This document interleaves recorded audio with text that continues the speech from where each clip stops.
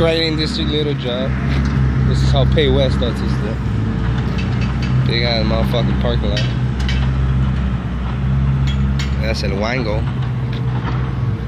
Sí, Pavewest.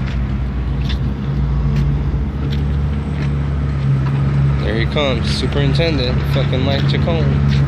Right there. Back close again.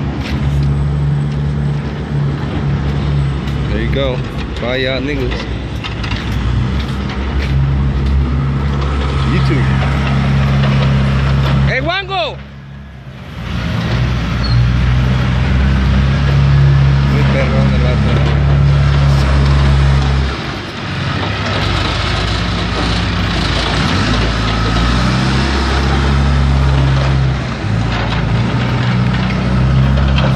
Fucking lot.